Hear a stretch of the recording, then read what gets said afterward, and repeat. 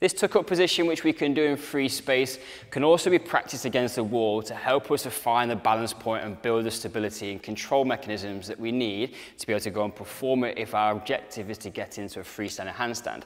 But there's a couple of little cues within it that make it difficult in terms of actually getting the position right. So you can see Jacko's got his hands away from the wall, just like he would do if he was doing a, uh, a full kick-up. But in this position, he's just going to pop up. So it's just these little bunny hops. The big thing in the tuck up is getting the rotation. If you keep your chest facing towards the floor, you never get the hips high enough and it feels like you're just kind of kicking out into mid-space and, and nothing's really working. The big thing to think about is you've got to open the shoulder and you've got to let the head come through. If you do that and that you let that shoulder actually really go into full um, uh, flexion, when we let the head come between the ear or the ears through to between the biceps, we get the rotation. The hips will go where the head leads. So think about trying to commit to those things. The other reason it's a little bit more difficult or scary is because the hips have actually got to go further than where they would normally do if we do a kick-up handstand.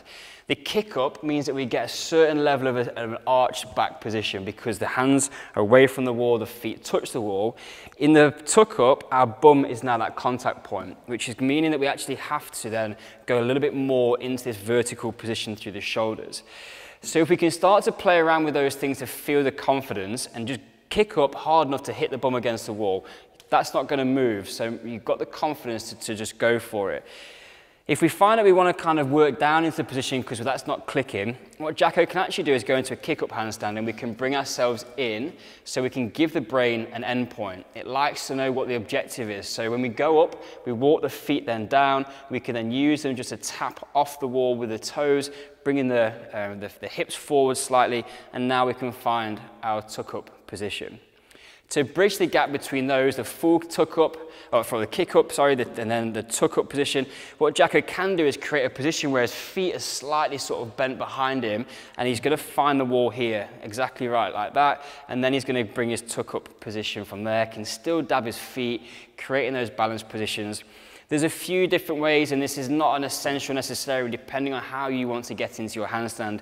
But the biggest thing we see for most people is not kicking hard enough to commit to the rotation and stopping for whatever reason, allowing that shoulder to open up and the head to come through, which will bring the hips up into shape that they need to be in. So have a play around with those cues and see which one's working for you. You might have to unpick it a little bit, but as we said, if you can tell your brain what the end point is, then you've got some, a better reference of where you need to go and you start to commit to that movement pattern.